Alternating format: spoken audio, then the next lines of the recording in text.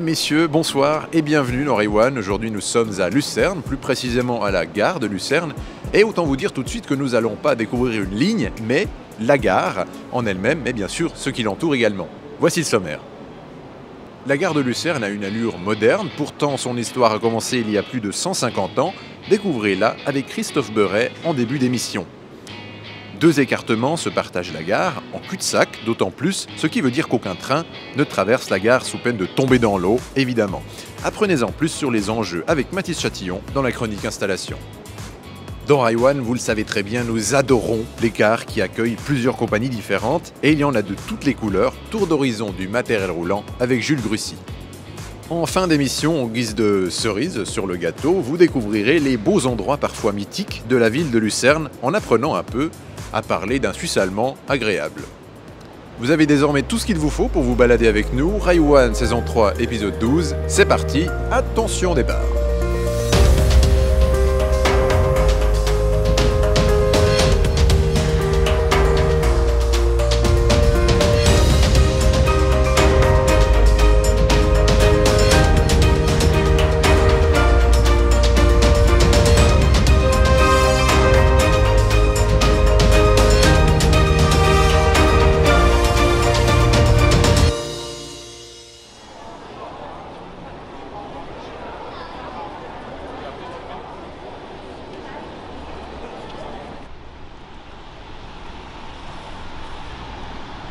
Gare de Lucerne a été victime d'un incendie qui a détruit la quasi-totalité de la gare.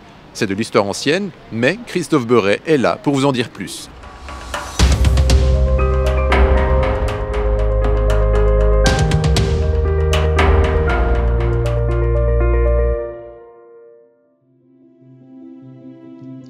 Bonsoir à toutes et à tous, je suis heureux de vous retrouver dans cette nouvelle chronique histoire pour vous parler de la gare de Lucerne.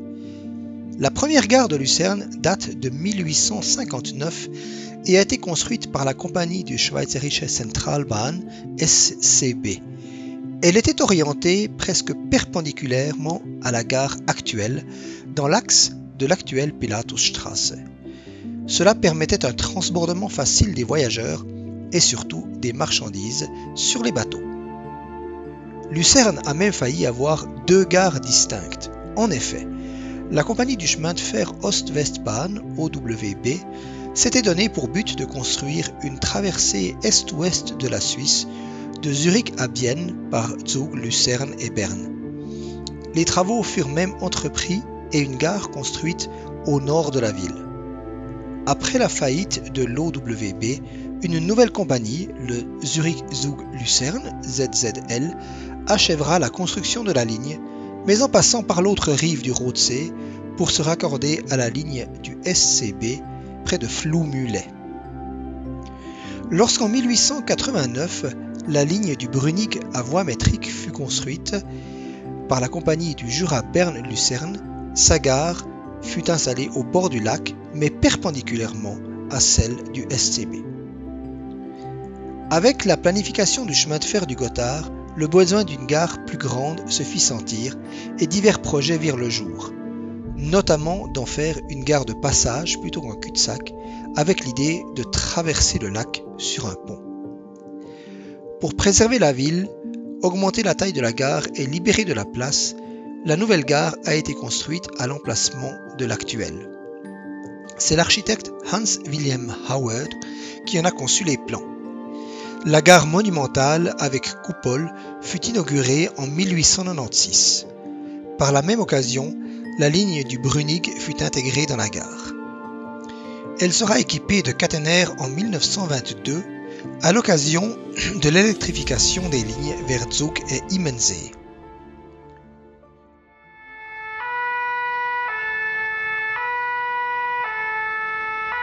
Le matin du 5 février 1971, c'est le drame.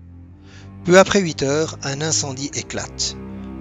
On n'en connaît pas la cause exacte, mais le plus vraisemblable est un chalumeau utilisé lors de travaux de réfection de la toiture. Malgré un engagement des pompiers de la gare, de la ville et des communes alentours, le sinistre ne pourra pas être maîtrisé. À 9h06, la grande coupole s'effondre, trois minutes après que l'horloge se soit arrêtée.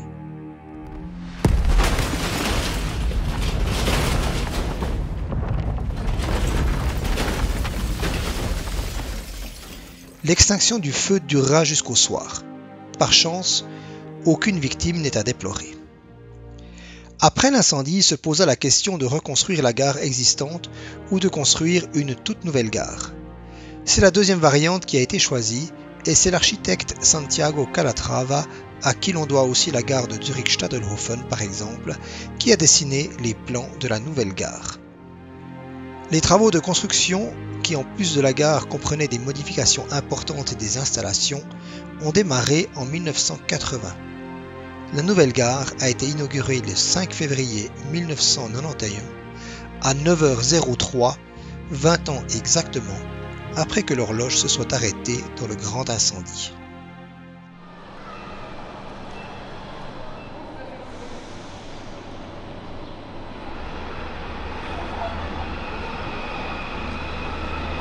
Vous savez, la gare abrite deux types d'écartements, et il n'est pas simple de les faire cohabiter. Par exemple, les trains CFF ne peuvent pas rouler sur des rails qui sont moins larges que les leurs, sous peine de dérailler évidemment.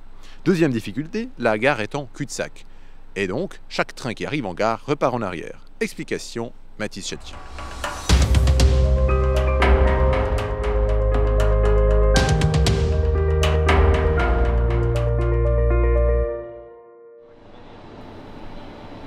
La gare de Lucerne est située dans le canton du même nom qui est lui-même situé au cœur de la Suisse. Avec plus de 80 000 habitants, la ville a par conséquent une importante gare accueillant diverses compagnies pour se rendre dans de très nombreuses destinations. En 2019, ce ne sont pas moins de 167 000 personnes par jour qui ont été comptabilisées. Côté desserte, justement, Bâle, Genève Aéroport, Bellinzona, Lugano, Zurich, Saint-Gall, Coire, Constance, Francfort, Milano Centrale et sans oublier Engelberg, Winterlaken, Host, voici un florilège non exhaustif de peut-être votre prochaine destination au départ de Lucerne. Vous le verrez dans la séquence matériel roulant, quatre compagnies ferroviaires exploitent la gare. Bien sûr, les CFF, le BLS, le Südostbahn et la Centralbahn. Mais ces compagnies ne circulent pas sur le même écartement de voies, ce qui fait que l'organisation des voies de la gare est très particulière. Vous allez comprendre. 10 voies peuvent accueillir des trains CFF, BLS et Südostbahn en service commercial, de la voie 2 à la voie 11. La voie 1, également en voie normale, sert au remisage des rames.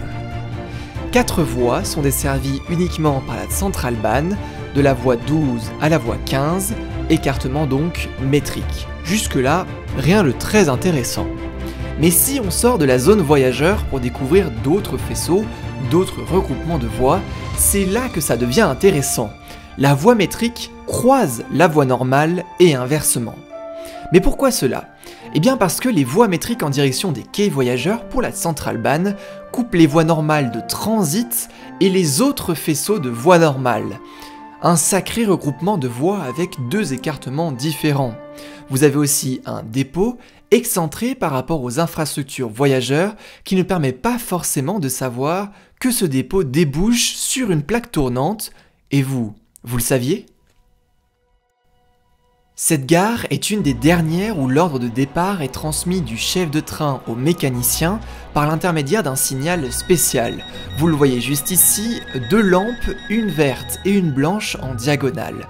Ce signal est aussi utilisé pour le test des freins. Pas besoin de vous rendre à Lucerne pour les admirer, ils sont encore bien visibles et en service à Genève pour quelques mois. Allez, c'est parti, question du jour.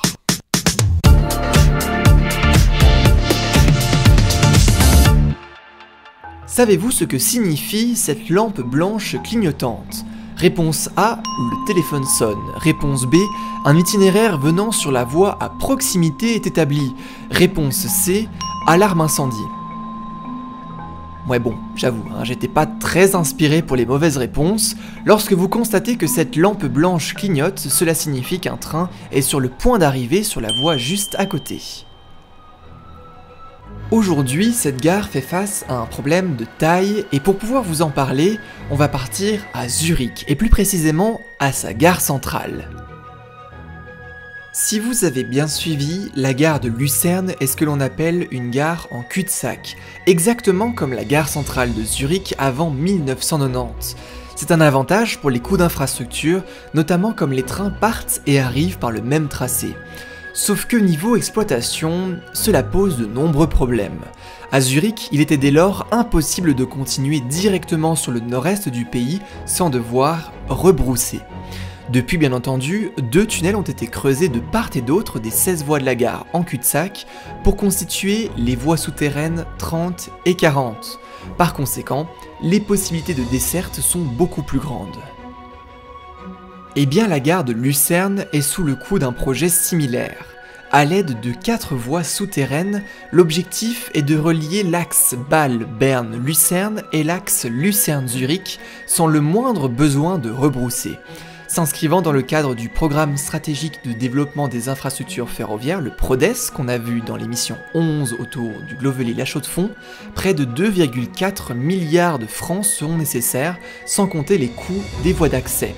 C'est un projet très important, stratégique pour le canton, mais comme tout projet ferroviaire de cette importance, dans le cas où il est accepté, la mise en service ne se fera pas avant longtemps, pas avant 2040.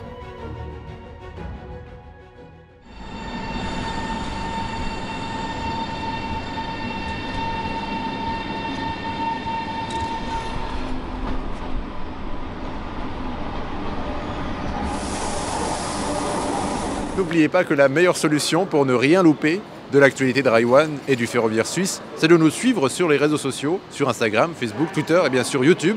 Est-ce que vous voulez d'autres Merci. Des rouges, des blancs, des gris, des verts, des bronzes. Découvrez toute la panoplie, toute la variété de matériel roulant qui circule ici à Lucerne avec Jules Grussy.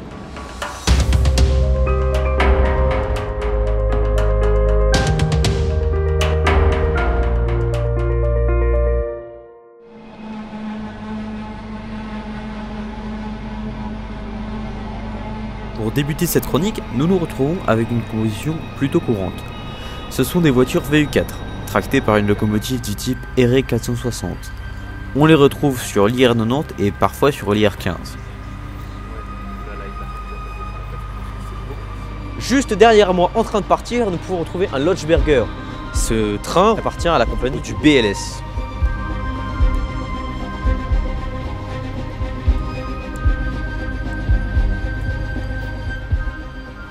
À Lucerne, niveau régional, on peut retrouver nos 523 ou Flirt, qu'on peut retrouver également sur le RER Vaux. Mais en revanche, il y a un train un peu plus spécial qu'on ne croise pas beaucoup dans nos régions romandes, c'est les GTV, comme derrière moi. Ces RABE 520 ont une particularité un petit peu spéciale, c'est que le bloc moteur n'est pas dans les roues comme sur une 523, mais a bien un wagon, une espèce de bloc central qui abrite le moteur. Nous nous trouvons maintenant à côté d'un Giruno. C'est un des trains les plus rapides des SFF qui atteint une pointe à 275 km/h dans le tunnel du Gotthard. Mais c'est aussi un des plus longs. En unité simple, c'est-à-dire quand il ne compose qu'une seule rame, il fait 202 mètres. Et en unité multiple, 404 mètres. Il est principalement sur les lignes Eurocity qui vont en Italie. Et c'est une de nos fiertés en Suisse.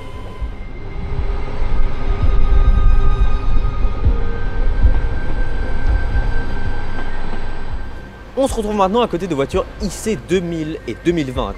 La nuance, c'est que les voitures IC 2020 sont rénovées et les IC 2000 sont en cours de rénovation et de modernisation. On retrouve par exemple ce train sur l'IR 27 ici à Lucerne ou encore sur l'IR 15. On se retrouve maintenant devant un Twindex, un des derniers matériaux roulants reçus par les CFF. Elles ont été mises en service progressivement depuis février 2018. Aujourd'hui, elles sont quasiment toutes livrées et roule par exemple sur l'IC1 ou encore sur l'IR70.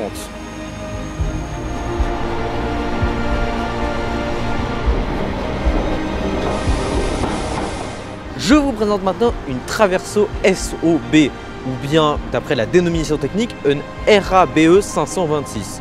Ce train effectue par exemple les lignes du Fort Alpen Express ou du Treno Gotardo.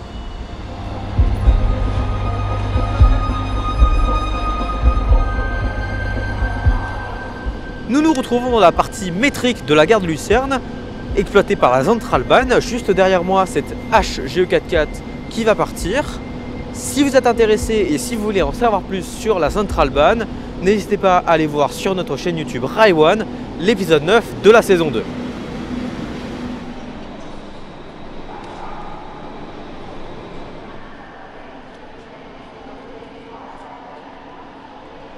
Plus d'être au centre de la Suisse et de l'Europe, bien sûr, Lucerne est un réel centre d'intérêt touristique de par son patrimoine et sa beauté, sa situation par rapport aux Alpes, au canton, avec toutes les traditions Willkommen im Luzern.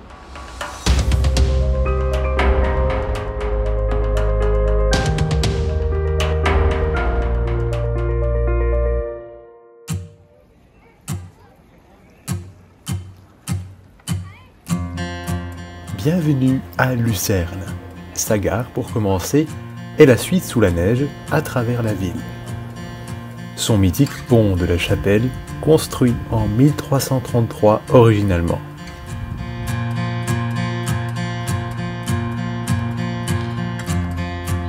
Indépendamment et voulant trouver une meilleure luminosité, je suis revenu à la fin du mois de janvier et j'ai retrouvé la cité sous la neige j'ai été emporté par la féerie d'un dimanche saupoudré d'une couche de neige, comme dans un conte merveilleux. J'ai même pu me retrouver en tête à tête avec moi-même grâce à un tronc dans lequel se trouvait une petite porte.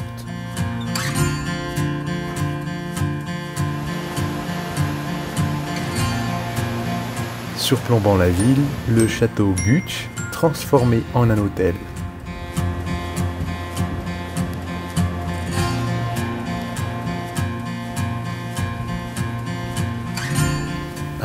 Idéal pour ressentir l'odeur des marrons chauds, mais rassurons-nous, l'eau ne gèle tout de même pas, il ne fait donc pas si froid.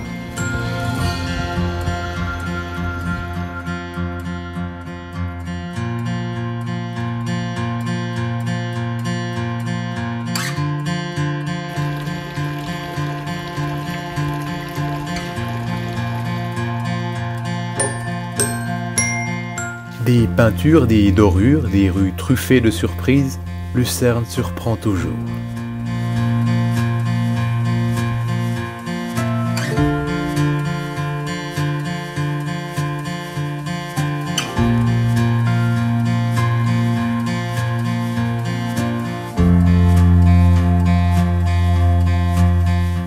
Même au bord du lac des quatre cantons, le calme domine, avec la belle église Saint-Léger.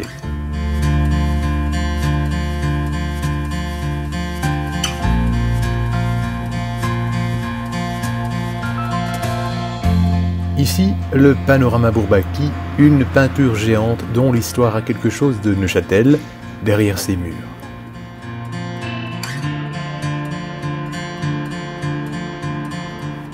Le Beau Lion, âgé de plus de 200 ans, une œuvre commémorant les officiers et les centaines de soldats du régiment des gardes suisses morts en 1792 au service du roi de France. Avec juste à côté, le Gletschergarten à ne vraiment pas manquer.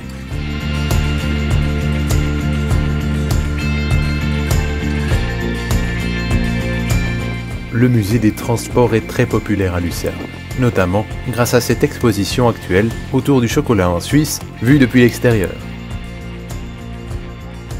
Le musée des transports est un réel fourre-tout et un coffre-fort en même temps, à explorer attentivement, il y en a pour tous les goûts.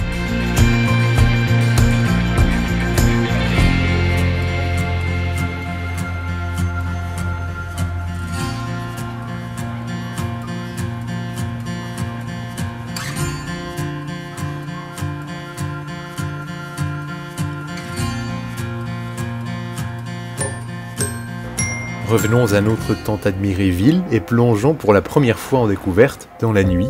En effet, durant le mois de janvier se tenait le festival Lilou, un événement artistique autour de la lumière. Laissez-vous transporter par les images.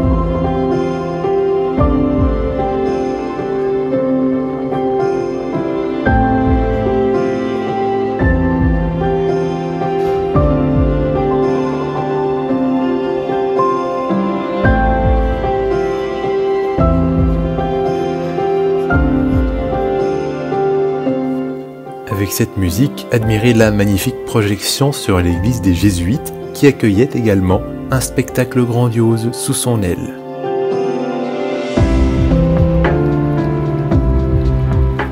Le Gutsch n'a pas hésité à jouer le jeu, offrant un ensemble coloré et donnant le sourire aux spectatrices et spectateurs ou aux passantes et passants.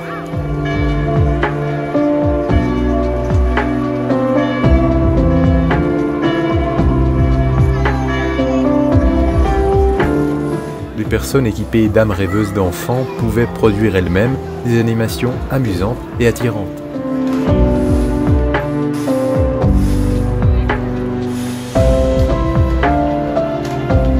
Et c'est là que ma mère cria, car la calèche à fondu était en train de passer non loin des billes. Original, n'est-ce pas?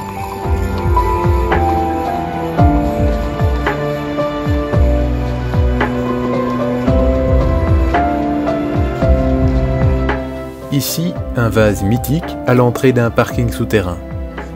Et une balade au fil des peintures tout en regardant dehors du pont de la chapelle.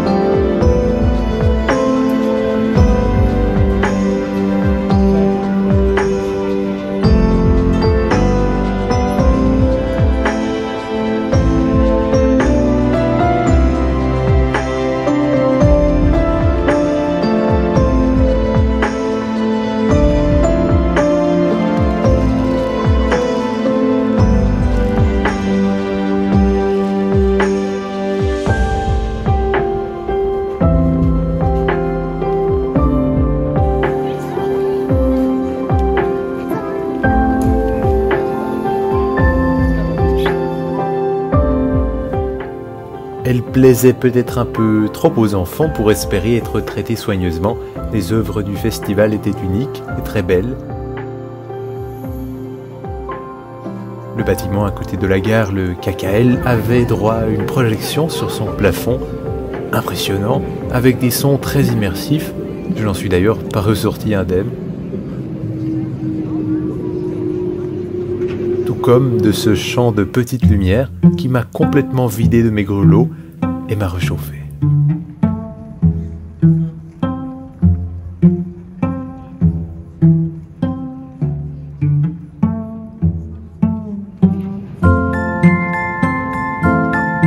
Terminons par l'ancienne porte de la gare de Lucerne, elle-même prise par un show projeté, retenant l'attention des visiteuses et visiteurs.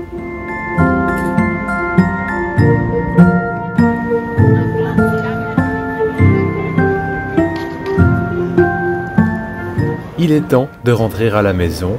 See you soon, Luzerne.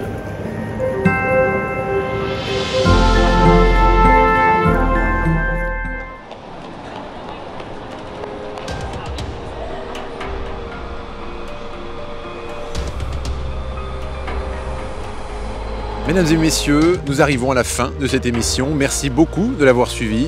Prenez soin de vous. À bientôt.